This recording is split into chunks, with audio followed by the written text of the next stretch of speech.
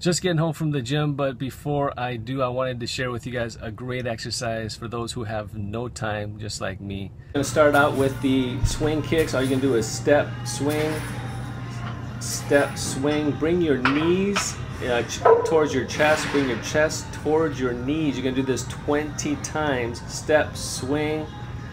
Once again, after about, you're gonna do this 20 times. Go a little bit uh, more aggressive after about 10 repetitions step, swing, bring your chest towards your knees. And then after 20 repetitions, you're not going to take a break. You're going to then do the curtsies. And this is where you bring your foot back into the side, but bring it more to the side than to the back. You're going to keep your lordosis in your back, keep your chest up, back straight. You're going to touch the ground.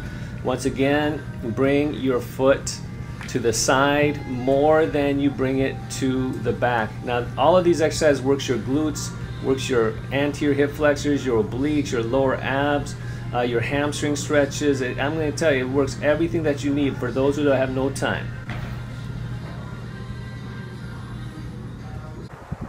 All right, what'd you think? Hope you liked it. Make sure to do it at least one time a day uh, for seven, no more than seven minutes.